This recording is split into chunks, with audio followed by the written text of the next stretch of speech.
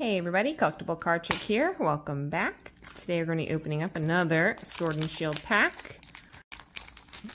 Right